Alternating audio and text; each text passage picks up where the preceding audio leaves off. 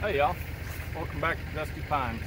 I'm Joe, and we're back here at the food plot again. We're about one week uh, after spraying it, and vegetation is dying.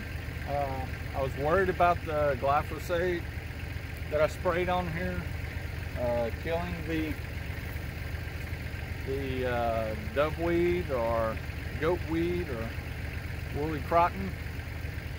Uh, but as you can see, the leaves here, I don't know if y'all be able to see it, but the leaves here are wilting, falling off, turning color. So it is, it is working. It has gotten to it and it's taking its toll on it. Uh, there are some uh, plants that look like they're still kind of hanging in there, surviving. Uh, so what I'm going to do, uh, I went dove hunting this morning at a friend's house and the whole point of that last video was trying to make something of all this doveweed and uh, possibly get a dove hunt out of it and trying to save this failed food plot. So, uh, went dove hunting this morning at a friend's house or place not too far from here and I'm back at the farm checking out what it looks like, see if the glyphosate worked. It looks like it's working, but there's some weeds in here other than the doveweed that are probably going to need another spray. And I want to go ahead and knock this all down uh, with the tractor, with the brush hog, mow it all down, get it down, and then here in about a week, I'll come back and spray again and get it ready for the next food plot uh, for this fall and winter.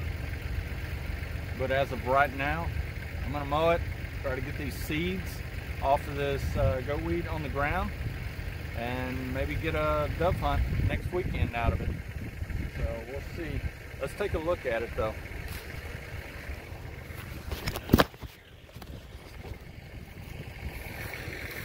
You can see this here, that's all dead. I mean, that's just nothing.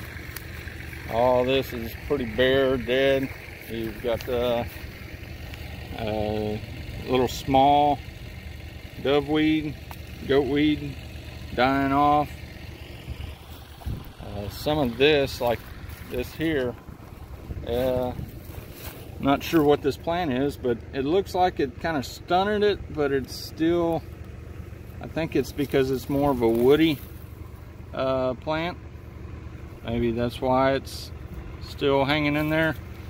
Uh, glyphosate doesn't do real well on the woody stuff, but if you look around here, looks like it's doing a pretty good job. This stuff is dying off.